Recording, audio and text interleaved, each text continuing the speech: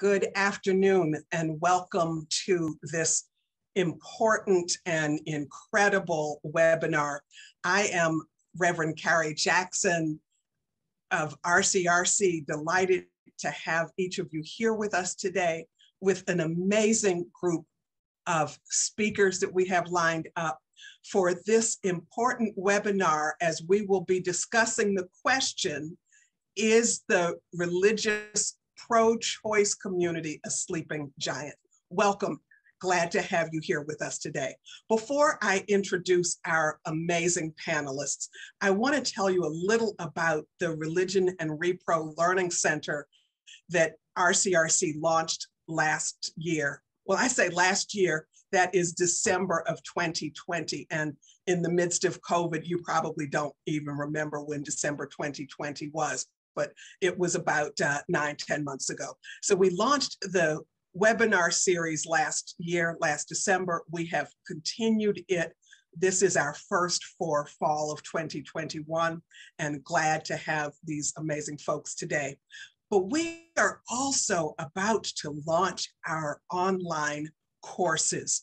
Those will be courses that you'll get to register for, and we will be launching those within the next four weeks. So stay tuned, watch out for those. I mean, we've got some exciting courses coming, such as fetal life and personhood.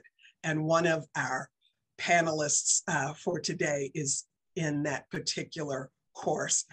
And just a lot of wonderful things. Learn about uh, Judaism, Islam, and their particular perspectives on reproduction and, uh, and their interpretations of their own texts and how that does align or does not align with how Christian legislators use those texts. That, that's going to be some good stuff. You're not going to want to miss that.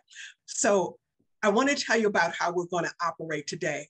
We are so sorry we don't get to see all of you, but we want to hear your voices through the chat, and we also want to hear your voices through the questions. We will have a Q&A at the end of our time today, about 20 minutes for questions and answers with our panelists. And so we have a box on your screen that says Q&A. Please use that to write any questions that you may have. And we invite you, if you see a question that is exactly on point with something you want to hear uh, and talk about, please vote that. We're calling it upvoting it so we can get to as many of the most pertinent questions that you have. That's Q&A for your questions. Use the chat box to talk with the community of folks who are gathered here today. We, we really want you to be in, in conversation with one another. Lots of great conversations have happened during these webinars, um, good hookups and, and all of that kind of thing. So please use that. Dating, that's not dating hookup. Please, please know that. So that's it for my jokes. Um, my mother used to say to me that I was a preacher and a comedian. And so sometimes you will see that come out. But let's launch right in. I am so delighted to introduce our panelists to you.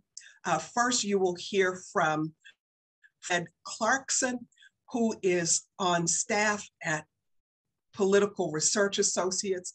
But Fred is just an amazing journalist and researcher who has been writing about politics and religion for more than three decades.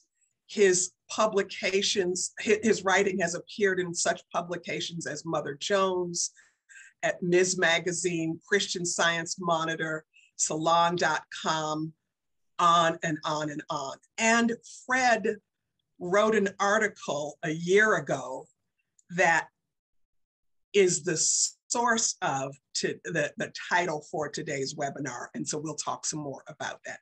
Um, Fred is a brilliant thinker and investigator and brings so much to the conversation as he looks at issues of faith and politics in the US.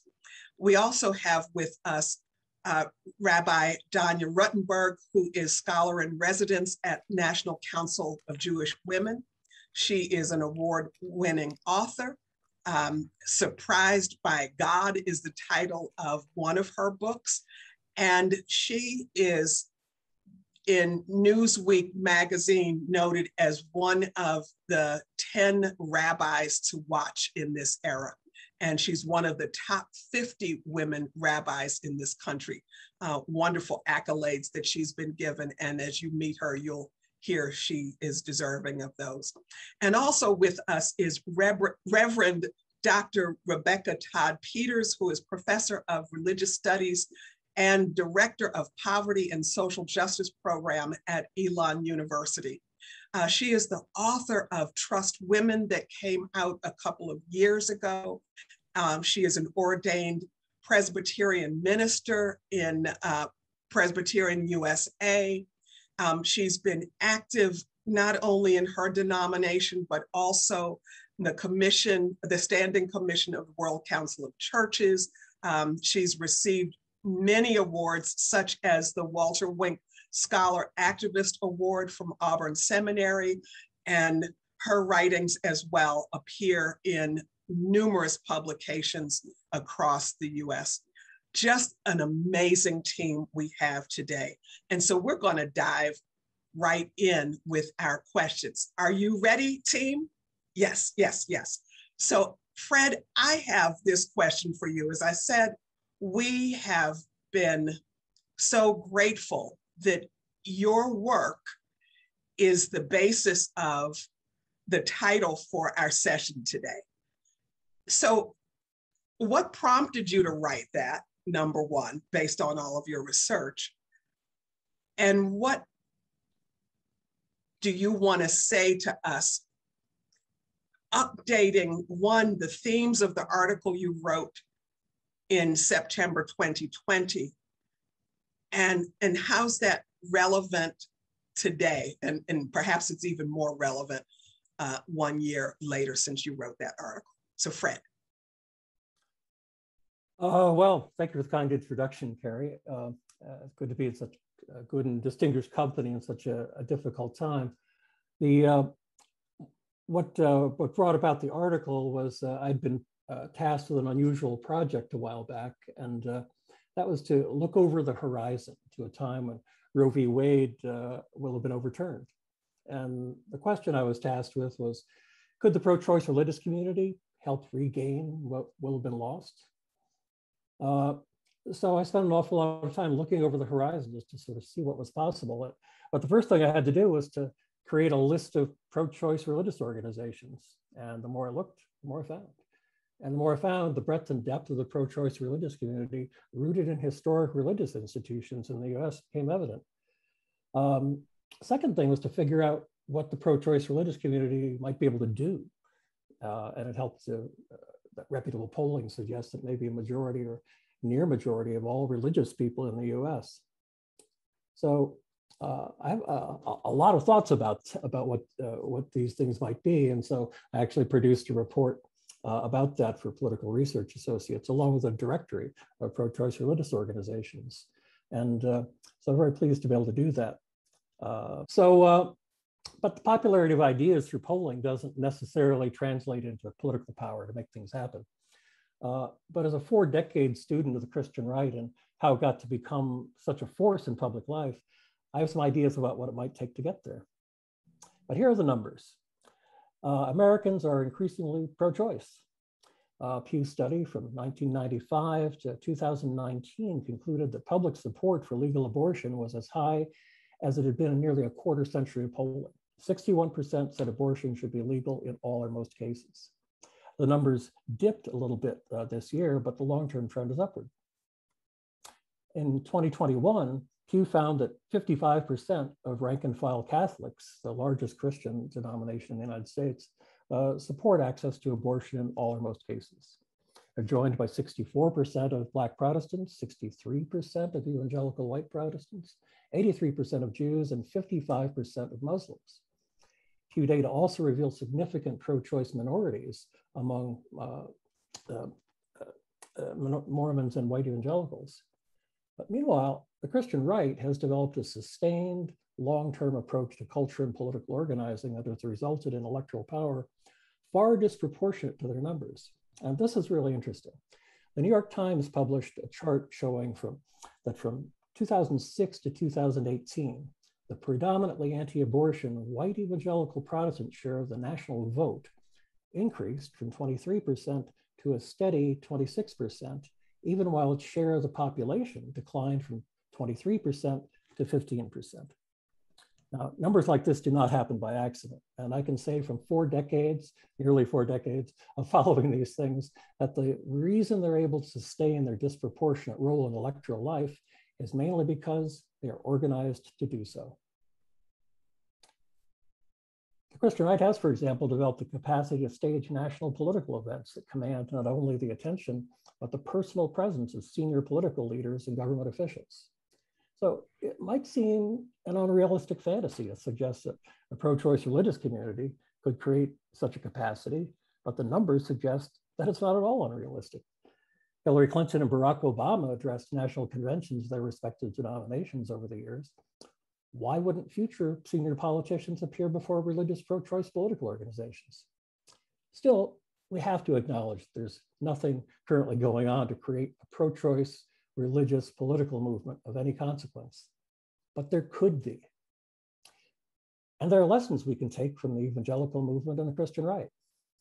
One of these is what they call parachurches.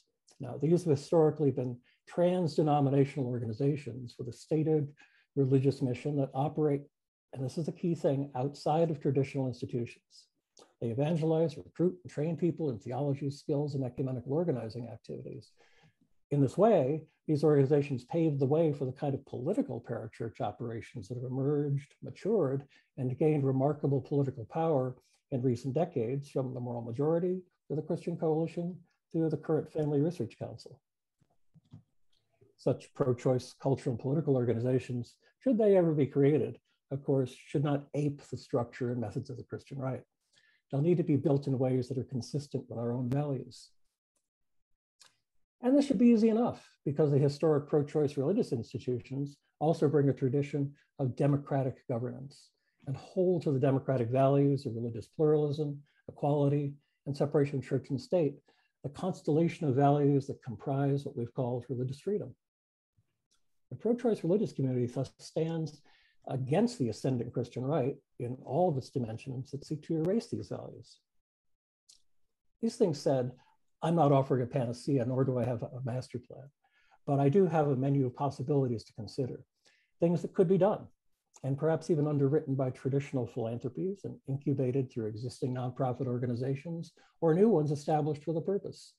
Some of these things could happen quickly, but most will take time in planning and development. First, people might create state or local or regional groups, at least as pilot projects to begin to figure out what works and what doesn't electoral politics in a faith context would be new uh, in this way. Such groups might be more organized within specific traditions, such as Catholicism. They might be ecumenical, they might be multi-faith. They might also be multi-issue in the manner of what religious left organizations might be like if reproductive choice, access, and justice were a central rather than peripheral part of the agenda. Second type of organization um, might focus specifically on electoral development to create not only a voter base, but cadre and culture of skilled political workers, candidates, and office holders. This would be important because the knowledge and skill sets for electoral politics will be foundational for building power sufficient to regain what has been lost, while also holding to a vision of improving on what used to be. Now, these would also need to be permanent and their activities ongoing, continually renewed like democracy itself, and certainly not need to be reinvented each election cycle. It's important to underscore that the Christian right makes extraordinary efforts to find voters likely to be sympathetic to their cause, while the pro-choice religious community does not. Third kind of organization may be required to do the other two. We might think of them as clearinghouses or strategy and training centers intended to create or point people to appropriate theological and political education resources, and perhaps to conduct ongoing organizer campaign and candidate schools. Christian Right has a lot of them. Now, I want to emphasize that such schools on our side would need to also, perhaps surprisingly, teach the history and nature of the anti abortion movement, as well as the broader Christian right, an ongoing evaluation of the evolution of strategy, tactics, and campaigns, and lessons learned. We have to learn from our experiences or risk repeating our mistakes. Much more in my report, but to conclude here, we have to acknowledge that this enormous sector of American society, the pro-choice religious community, is currently under-organized, under-reported on, under-resourced, and under-organized. I hope that my studies will help to change this. But because when I finished my research, I was so surprised to find myself concluding that whatever happens at the Supreme Court, a pro-choice religious community could provide the moral, cultural, and political clout to eventually reverse the current anti-abortion political and policy trends. What we have is a virtually untapped source of hope and possibility for the future, and I would also argue for the present, of reproductive freedom, access, and justice, and solid evidence that a better future is possible. And I thank you for your kind attention. Thank you very much. Fred, we will hear more from you very shortly, but uh, Danya, I'm going to come to you. You have at National Council of Jewish Women spearheaded Rabbis for Choice. If you could talk with us about what that is and what your hope is that, it is able to bring uh, among religious people who are pro choice. Sure, absolutely. Um, so Rabbis for Repro is, um, I'll put the URL in the chat, is a network of now almost 1,500 Jewish clergy, rabbis and cantors and other Jewish clergy. Uh, we have a proliferation of different titles, basically Jewish teachers of who are ordained, um, who have pledged to preach and teach and organize and advocate for reproductive health, rights, and justice.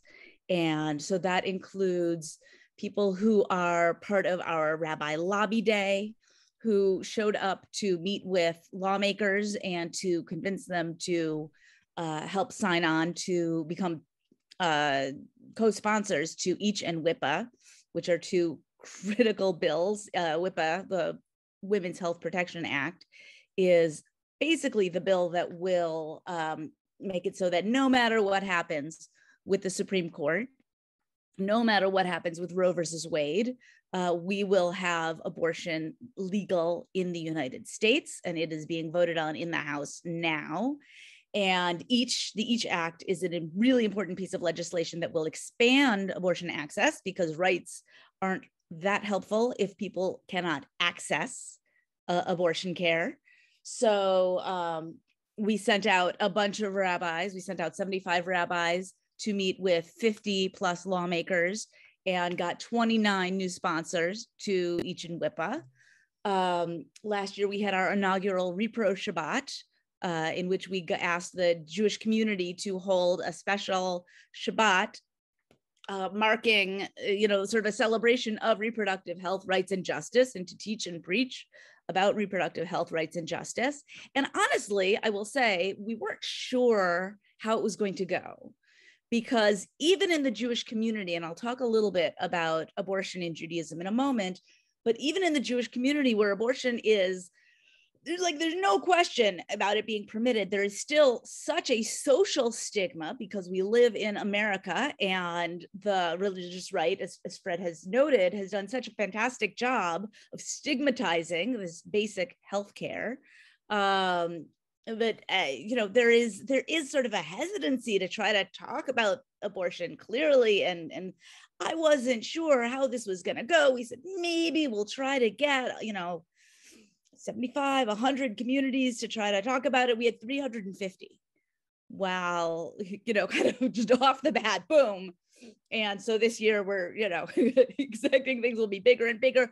The jewish community is hungry to show up right 750 synagogues each synagogue has you know thousands of, of members and so people are ready to go and ready to to talk to engage to advocate um, and to stand up. And um, just today, and I'll have another tomorrow. Um, I've been talking to rabbis in Texas who obviously have a lot to say and a lot to do um, now that abortion is functionally banned and I'll, you know, a lot of work to do with congregants who have very real needs. Um, and this is a violation of our religious freedom because uh, abortion in Judaism is not only permitted, but sometimes required when the health of the pregnant person, and for us, that is the physical health and also the mental health, is jeopardized. So then it is a, according to Jewish law, it is a requirement. Um, and obviously, the pregnant person is the person who gets to make the decision about what they do with their body. But if they go to their rabbi and they say, Rabbi, what should I do? The rabbi will say, Well, Jewish law would tell you to care for yourself first because your health comes first. That's a no brainer in Judaism your health comes first. And Texas, you know, people say, like, well, you know, Texas has a provision. Texas is like, yeah, if you're going to bleed out and die in the emergency room, then maybe we will allow you to terminate your pregnancy. But that's not the same as caring for your health, right? That does not, there's not a question about, you know, will you be worse for wear after the pregnancy? Right? For them it's it's life or death er dramatic scenario is the only provision. And judaism takes a much bigger view of what health and safety involves. Um, and this is the thing in judaism um, the fetus is not does not have the status of personhood. Right? So the first in the talmud it says you know for the first 40 days it is uh, mere fluid Maya Ba'alma, which um, based on you know sort of the Talmudic reckoning versus um, you know American last menstrual period reckoning, it would be about the seventh or eighth week of, week of pregnancy by how we count. 66% of abortions are performed up until that time. Mere fluid. And then for the rest of pregnancy, from then until birth, uh, the fetus is considered part of the pregnant person's body um, the fetus is considered as its mother's, use gendered language, but as the pregnant person's thigh, right? It is a body part. And only at birth, then is the pregnant person, is, is the fetus, like once the fetus's head, baby's head is out in the world, then we say, oh, look, you're breathing welcome to the world. Now if we have to choose between you know if both lives are in danger then we have to start to have some conversations about whose lives to save. But up until there is a head out of the birth canal you know is you know that sort of in the ancient language um what they would do with a c-section you know people have written stuff on that. But um functionally until midway through the birthing process whose life you save is the pregnant person because they're the person. And then only only after that does it get more complicated. So Danya, thank yeah. you.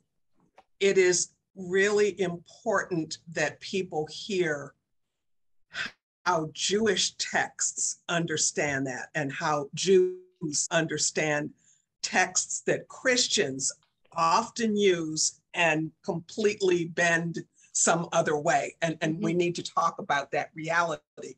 Um, as Fred was talking about para church, I think that is so important um, to cut across denominations within Christianity, but understanding that 60 to 70% of individuals in the US regard themselves as Christian, and about 2% of individuals in the US regard themselves as Jews.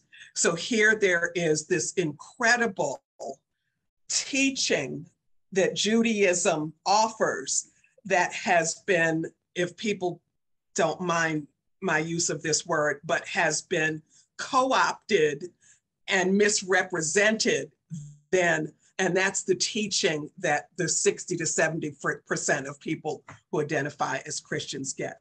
Uh, we have the Q&A. We really want your questions. Right now, we only have one so far, but please put those in. Um, it'll be important for the conversation with Fred and Rabbi Danya and, and Dr. Peters. And so, Dr. Peters, I turn it over to you now. Thank you very much, Carrie. It's so good to be here and be part of this conversation, which is just an amazing conversation. Um, so thank you for hosting this. Um, and so I want to talk a little bit about um, work that uh, came out of my last um, research project, which which culminated in this book, "Trust Women: A Progressive Christian Argument for Reproductive Justice." And it's really nice to follow Rabbi Danya because um, there are a lot of Christians who share a lot of the beliefs that that you just shared, um, and there's not a monolithic understanding of abortion within Christianity, despite the fact that there's a dominant narrative in this country um, that Christianity is against abortion. And so I call that the justification framework. Um, it's the framework that uh, really shapes how we think and talk about this um, issue in our culture uh, and and you know and i argue it's really rooted in a very narrow traditionalist christian patriarchal interpretation of family and um, you know teleology what, what are what are we called to do and be um, as men and women um, as people. Um, and there's some beliefs here that undergird this justification framework. One is that all pregnancies are gifts from god. Another is that prenates um, are full human beings at the moment of conception. Um, and another one is that women are morally obligated to gestate when they are pregnant. Um, and so these are assumptions that underlie this argument that, that women have to offer some sort of acceptable justification if they want to end a pregnancy. Um, and, you know, we, we really see that, that particularly these two ideas about um, sort of women's purpose and uh, fetal personhood um, have combined to create the idea that abortion is wrong. Um, and that idea that abortion is morally wrong, um, I argue, I think is a minority Christian belief. I don't think it is the dominant Christian belief. Um, and I think that uh, it is what dominates our conversation largely because the religious right, um, evangelical Christians and Catholics um, are the ones who have the most airspace. They are, as Fred has pointed out, are the most organized, and they have been pushing this narrative for 30 plus years now. Um, and it is dominating the conversation. So within this paradigm, a fertilized egg is the same as a baby. Um, and if that is your starting point, um, then everything that's happening now makes sense. This has been the, the goal from the beginning of that movement is to overturn Roe v. Wade, to argue that abortion is murder. Um, and there are uh, many, many, many Christians who reject that idea. Um, and so I, I just want to briefly review ways in which this framework is flawed. Um, it distorts conversation and impedes dialogue. It harms women and pregnant people. And it's really focused on the wrong moral question. And if we haven't identified the right moral question, then everything we do is not actually helping to address the problem that, that we're facing. Um, so it distorts the conversation by creating false binaries, um, you know, pro-choice, pro-life. Um, most uh, Americans, a, a, Public Religion Research Institute um, study showed most Americans actually, most religious Americans actually identify as both pro-choice and pro-life. Um, but the justification framework pushes the pro-choice folks to, to, to find ways to justify women's right to abortion and pushes people on the pro-life side to try to eliminate those acceptable justifications. So those acceptable justifications are what I talk about as categorizing abortions. We've categorized abortions into these two different frames, right? So we have PRIM abortions or prenatal health, rape, incest, mother's life. These are widely supported um, by uh, uh, public opinion um, that that, it, that, these are the acceptable, the justifiable abortions. Um, but you know, creating this uh, this idea that some are acceptable and some aren't really is a moral sword that that that divides people who have abortions into two categories the tragic and the damned and we know that only 25% of uh, abortions occur in PRIM abortions and the majority of abortions in this country are the I don't want to have a baby or another baby um, abortions, what uh, Katie Watson, legal scholar Katie Watson, calls ordinary abortions. Um, and so uh, finally, the wrong moral question is, uh, is abortion right or wrong? That's not the question women ask. Um, people who are pregnant say, what should I do when faced with an unplanned, unwanted, or medically compromised pregnancy? And there are a lot of resources that we should be mobilizing in our communities to help people answer that question because it's a significant moral question. Um, and people need support when they are answering that question. So I want to talk about, um, Carrie asked me to talk about not only what is the justification framework and how it's harmful, but she also asked me to talk about the ways in which progressive people of faith can interrupt uh, well, first, how we perpetuate this justification, and then how we can interrupt that. And so, one of the ways uh, I want us to, to, highlight a couple of ways that we perpetuate this. One is a lot of mainline and progressive Christians just simply refuse to talk about the issue. Um, I think it's it's there's this sort of this allergic uh, sense about of talking about abortion in um, progressive faith communities. Um, I think you know I don't know lots of reasons that could be fear of alienation or or, or judgment or being judged, um, fear of offense. I think there are a lot of sort of classic liberal responses um, uh, or, or, or uh, classic pitfalls of liberalism we could talk about that relate to this, but it's something we have to overcome and we have to really move forward and um, talk much more openly. And I was so excited by hearing about what Rabbis for Choice are doing. And I think they're really showing us a model for what needs to be done in progressive faith communities across the country. Um, you know, and I think, you know, we're all aware of how loud and dominant the pro life um, uh, religious communities are, um, and they say unapologetically that they are pro life um, and stand up for that.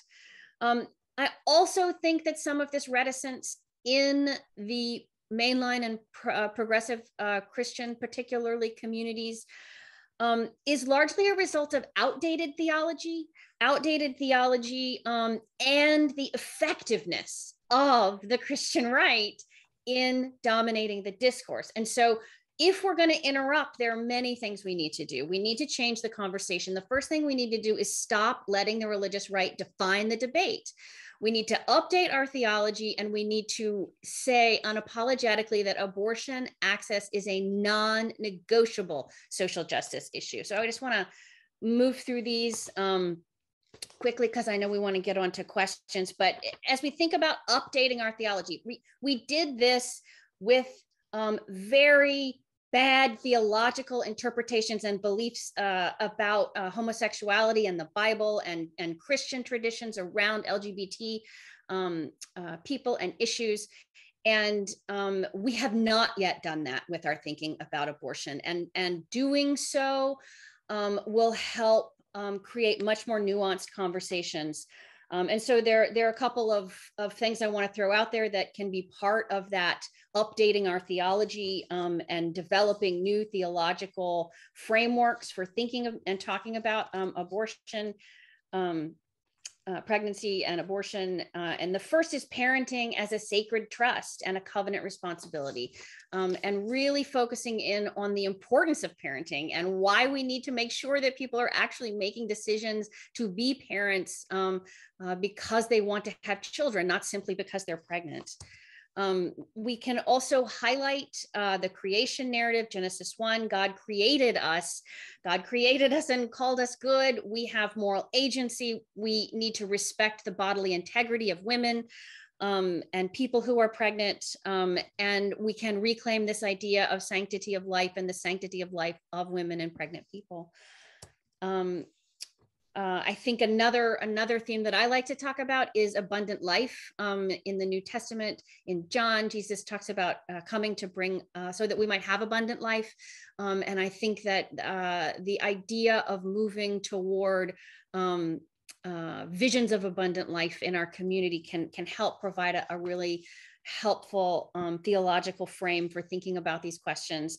Um, you know, and if, if you want to go, you know, m- even more deeply sort of scriptural, we can go into the Exodus text um, that's often cited here about the two men who are fighting and strike a pregnant woman.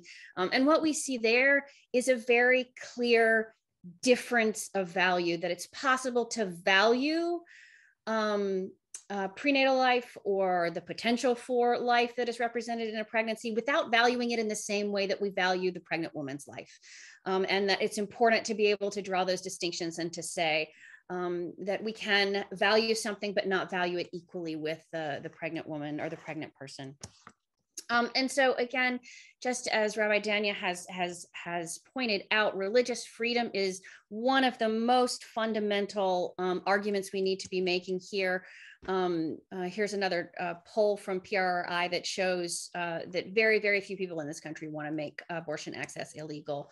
Um, you know, second uh, second way we need to to really be um, thinking about this and disrupting is really highlighting that forced pregnancy is a human rights violation. Um, it's a sin against human dignity and respect for women's lives. Um, and finally, sorry, oh, I must have deleted my last slide. That's fine.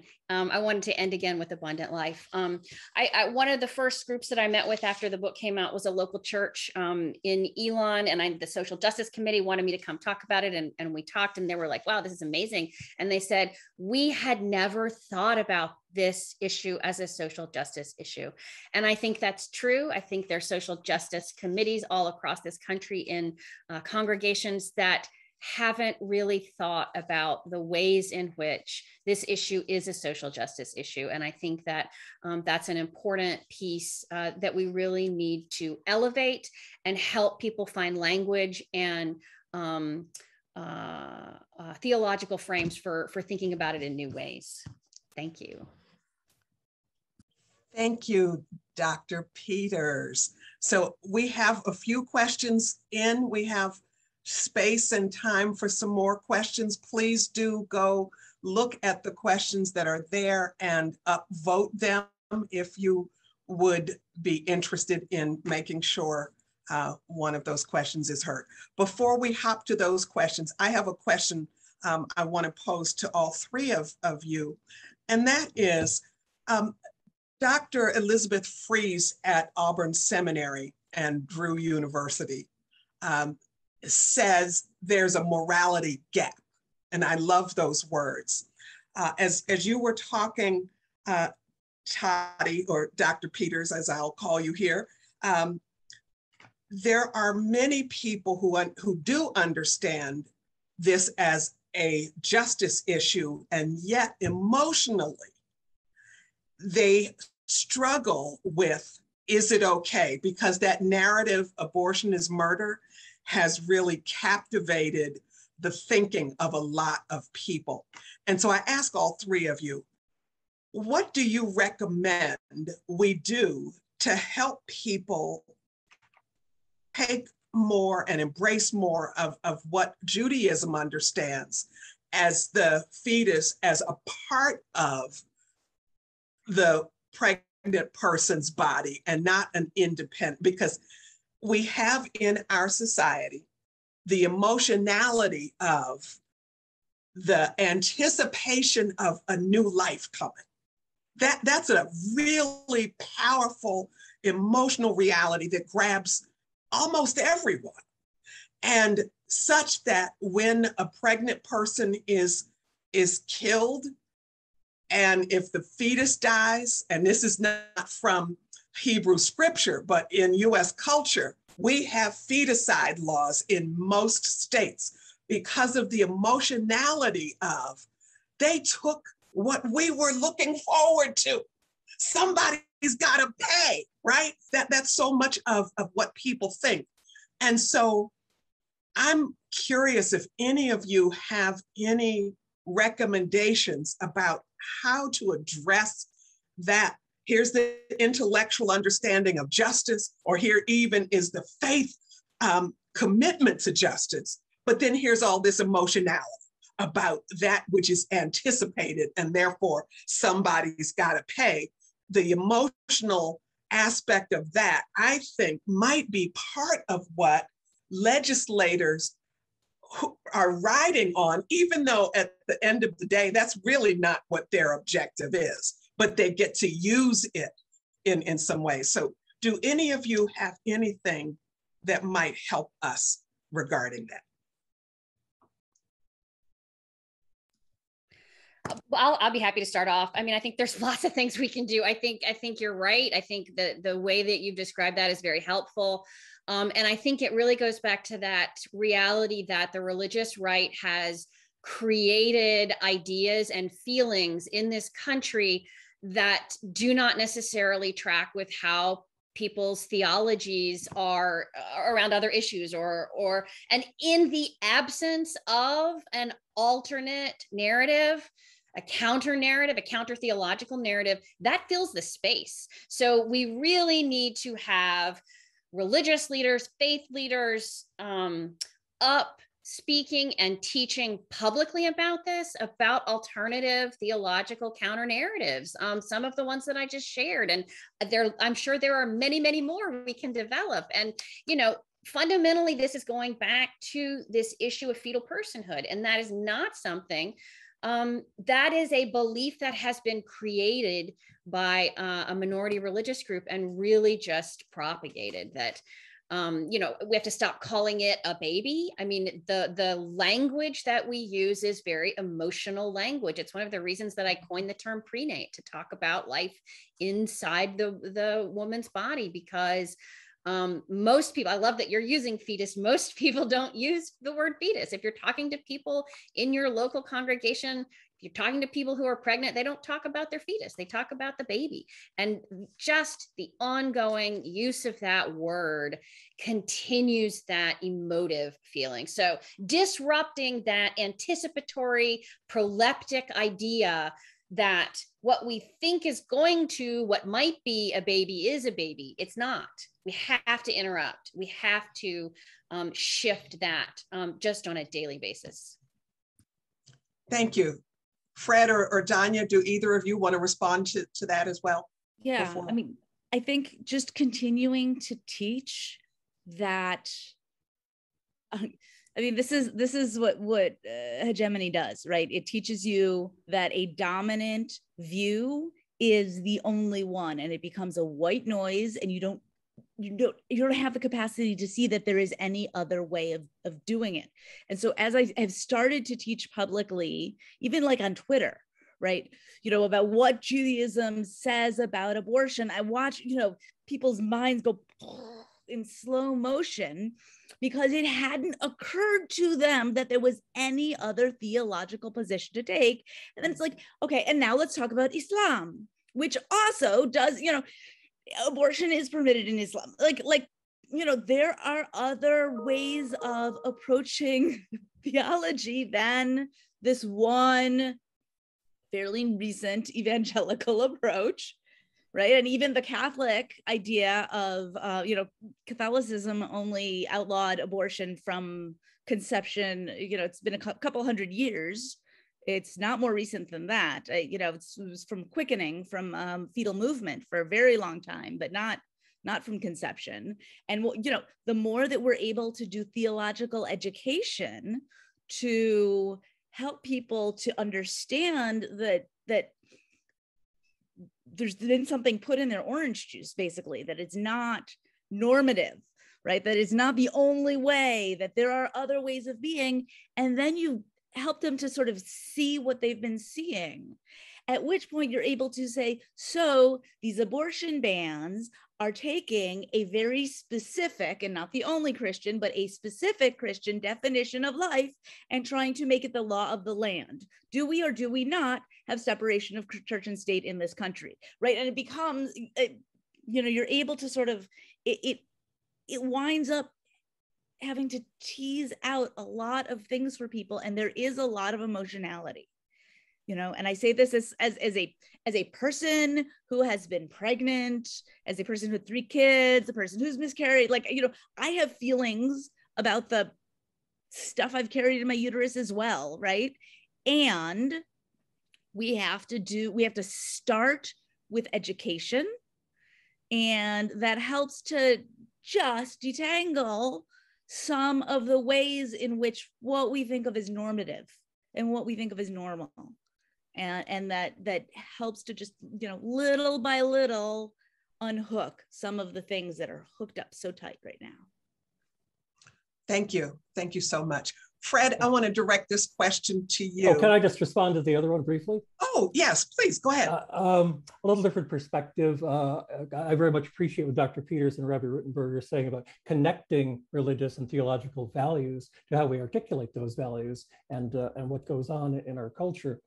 I'd also look at it in reverse because polling shows that large numbers, one polling I was looking at, you know, showed 77% of people support Roe v. Wade. Well, if that's true, how then do people reconcile, you know, their personal views and, and the kind of muddy kind of problems that the, that the others have spoken of? Uh, and, and I think that that's important too, because it's not just personal, it's also profoundly political. If people are going to be able to address uh, matters of, uh, of supporting Roe, they have to be comfortable in knowing why they do. And I think that that's, that's a useful process too. I, I really appreciate that last piece that you said for people to be comfortable in knowing why they do. And so much in our culture has lulled people to move in ways without really critiquing the why. Um, and so I, I really appreciate that as, as a critical piece. So there's a question from Rebecca uh, about the orientation of pro choice as siding with the devil. Um, and, and we know it is not only a QAnon um, orientation that people who are quote unquote liberals are um, with the devil and you know et cetera et cetera how does your vision of a parachurch movement help break through that narrative that is is pervasive in certain aspects of, of US culture right now about liberal yeah. or progressive or really justice seeking is in some way um, siding with the devil. How, how, how do you recommend we break through that? Well, a couple of questions in there, I think, but uh, but one thing in terms of create a parachurch, you know, political entity, and that is that we've already, you know, we're trying to address the kind of question how do we reconcile our values, you know, with public policy and politics, mm-hmm. uh, and, and the future of of legislation and judiciary. Uh, so as we go through that process, we, we get better at it it's not only figuring things out in a, in a, in a religious community, it's figuring out how we relate our values to the larger culture of religious pluralism, which includes the people who disagree with us, right? We have to accept in some fundamental way, pardon the term, the, uh, that there are people who are just always going to disagree on these things. And our task then is to figure out, well, how do we tolerate the formidable and uh, insistent opposition at the same time as we advance uh, these ideas mm-hmm. in a culture, religious ideas about abortion, right? In a, in a, in a culture of religious pluralism. And uh, that's how we begin to do it. Uh, and sort of in a, in a different task, and I've said in other contexts, and that is that, uh, you know, as we engage, we need, we have the need to de-demonize ourselves, right? If we don't think of ourselves as aligned with Satan and not, you know, then how do we persuade our friends and neighbors and people in other religious communities that, well, whatever you may be thinking and saying, we're not those people. And but mm-hmm. we need to be very conscious of the fact that we are viewed that way. And it's going to take some uh, uh, some relationship building in order to uh, uh to neutralize that. Thank you. So I, I this is uh, go ahead. Can I jump in? I just yes. wanted to say that I also think it's important to think about how much um, sort of what time and energy and resources you have and how you're going to spend that. I mean, I think that um, fighting QAnon and fighting people who are out at the clinic is is probably not the place you're gonna change hearts and minds. Although I think there are lots and lots of people in our congregations who are um, ambivalent about these issues. And those are the people that I would recommend spending um, time and energy talking with, teaching with, um, walking with, um, because I think, again, that uh, we need to, um, you know, do the work where we can um, uh, find the places where social change can happen. So, Dr. Peters, you mentioned um, the fight for uh, LGBTQ rights uh, earlier. Um, so, Elizabeth asked the question about uh, the United Methodist Church that we know is is uh, in its own conflict right now as it relates to uh, reproductive freedom, as it relates to LGBTQ dignity, women's rights, et cetera, et cetera. Um, is there any way within denominations and in congregations where those kind of fractures are there to help with the education? Uh, what are some of the main points that need to be brought forward that is not um, only justice in a uh, theoretical sense, but it is really grabbing people's hearts and, and minds. And I, I ask this to, to all three of you as well. That's from Elizabeth. Yeah, I, I, I will jump jump in here just to say, you know, the way that the the new framing, moving away from from justification that that I offer in the book and that I find very helpful is reproductive justice, and that is a term and a movement that was organized um, by women of color, by twelve Black women in um, nineteen. Um, 92 uh, as they developed a new movement that has a much broader spectrum for thinking and talking and understanding issues related to you know um, uh, uh, the freedom to have children the freedom to not have children um, and the ability to raise children in safe and healthy environments. And when we reframe our goal around something that's much more positive like that, it includes abortion, it includes abortion rights, but it also says, look, uh, I think a lot of our time and space is being sucked up and and and, and resources in fighting over abortion, and that is money and time and space that is not going to help families and to help people who um, have a broader set of issues. Um, and I think that if we can get our congregations talking about that, um, and, and this is an, an, another piece that I want to really highlight here because it, it, builds on on Fred's work and the, the work that he's been doing around parachurch organizations. Um, uh, and and also dovetails on the LGBT work that has been done in progressive communities, and that is there's a group of people who are organizing a new parachurch organization. Um, it's called Sacred, stands for Spiritual Alliance of Communities for Reproductive Dignity. There's going to be a convening in January, and we're inviting congregations and individuals just to show up. But the idea would be that we mobilize people. We're writing curriculum. They take this curriculum into their congregation organizations and the curriculum isn't just about abortion. It's about reproductive justice. It's about the roots of white supremacy in shaping and um, framing patriarchy and traditionalist christianity in this country. And it's that kind of education in congregations across the country that is parallel to what happened with lgbt transformations in um, uh, religious spaces and religious communities. Um, and it's digging into and rethinking um, those ideas, uh, and for some people, thinking for the first time, um, and not simply receiving ideas, um, that I think it has the the most positive capacity for long-term social change. Really building out what um, what Fred was talking about in terms of uh, trying to think about new strategies that can really um, have a possibility for um, engaging uh, and and producing long-term social change. But I also want to highlight, especially if there are media people here, um, these are voices that are being ignored in the media, and they're um, it is work and research that is not being funded. Um, and so the to move this forward, there needs to be much more um, space in the public conversation. We need to make that space because nobody's going to give it to us. Um, and we need to really keep um, uh, pushing on the under resourced aspect of this and push funders to um, recognize that faith is a really important aspect of this conversation um, and that work that's being done around these issues in faith spaces needs to be funded. Thank you. I have one last question because it's almost time for us to wrap up. And, and thank you all for your incredible questions, Phyllis and Barb and Judy and Bailey and Anonymous and, and on and on and on.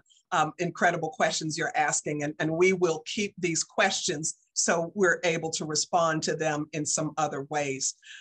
But one question is because of the law in Texas, SB 8, now there is this outpouring across the country of individuals bringing money and asking the questions, what can we do, et cetera, et cetera.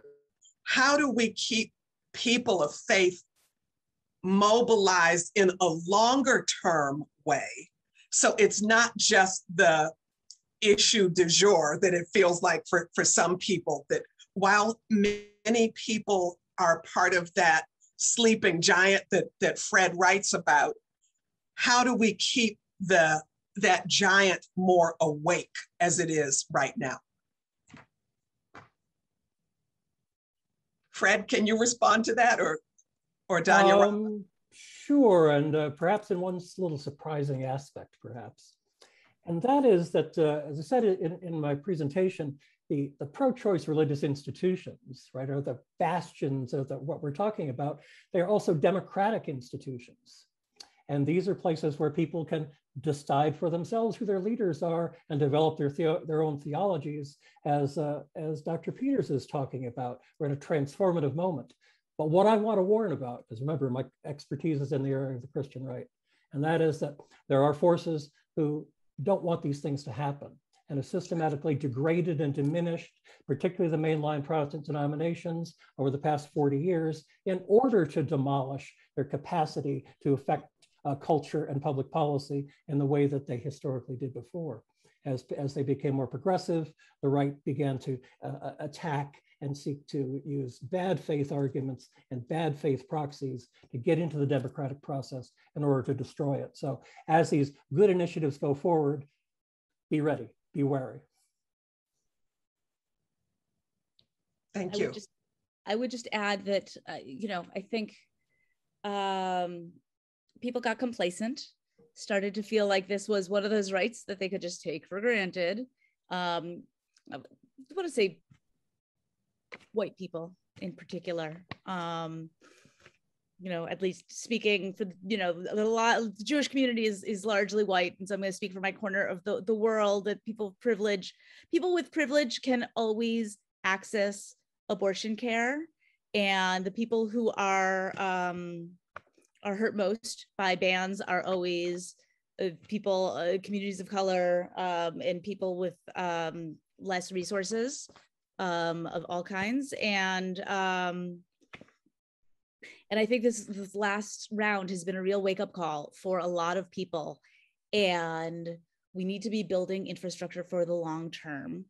And that means not just um, running from state to state, depending on you know where the action is, but thinking about a sort of larger national strategy, long-term national strategy, thinking past next year and the year after, and um, thinking about culture change and community change and how this work becomes part of a practice and mm-hmm. doesn't just become running and the adrenaline and the stress when there's the action but how how this becomes what we do and part of our work and it just becomes integrated into our lives because this work this fight is not going to go away anytime soon and so we need to be setting ourselves up for the long haul.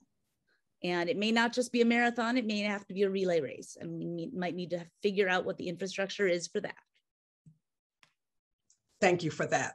And so, sisters and brothers, we've come to the close of our, our time, but justice is a relay race. It is the work for every generation. And I'm excited that RCRC is relaunching a program that we ran um, many years ago that was called Spiritual Youth for Reproductive Freedom. Um, it is getting underway at a few college campuses. Wellesley in Massachusetts is one, Oberlin in Ohio is another, and we're in conversation with some other schools. If any of you out there is a student and you want to activate a SYRF, that's the acronym, uh, the nickname for it, Spiritual Youth for Reproductive Freedom. Um, please be in contact with us. We would love to involve you in that. Um, it's a parachurch kind of thing, if, if as Fred, um, uh, you might see it in that way or not, but we want to make sure, in addition to things like sacred that we're doing with congregations, that we will get underway with congregations in 2020, 2022.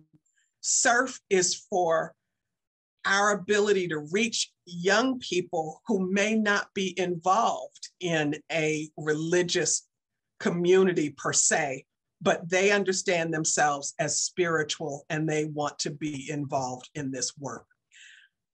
Please let us know any ways that you would like to be involved with us. Um, I think I saw uh, Dr. Peters put in the chat if you're interested in learning more about sacred, that, uh, that again is for congregational work um, with a particular focus on Christian communities, but not exclusively there. If you want to know more about that, please be in touch with us. If you want to know more about uh, spiritual youth for reproductive freedom, be in touch.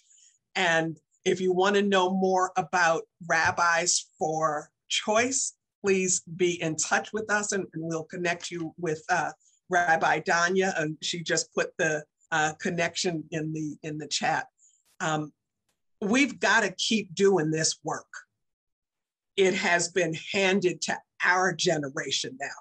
And as long as we have patriarchy, as long as we have racism, sexism, classism, all of those things, we need to keep doing this work. And um, thank you so very much for being here with us today. Our next um, session is coming up on October 7th. And we will, Mel, what are we doing on October 7th? I can't remember. And then on October 13th, we have another session where we will look at Christian dominionism. That was a session uh, we had planned for a couple of weeks ago, and our speaker uh, was not feeling well. We're rescheduling that. And then later this fall, we will be talking about the issues of abortion in countries around the world, the US and other countries. And um, please be a part of these important conversations. Frederick Clarkson, Clarkson, wonderful human being that you are, and just intentional thinker that you are. I really appreciate you for prodding this and asking is is this a sleeping giant and, and let us continue to talk about ways to wake that sleeping giant up um, dr toddy peters thank you rabbi danya ruttenberg thank you all for your incredible work and we look forward to seeing this amazing uh, audience. And again we're waving to you even though we can't see you we really appreciate you and blessings to each one of you. Until next time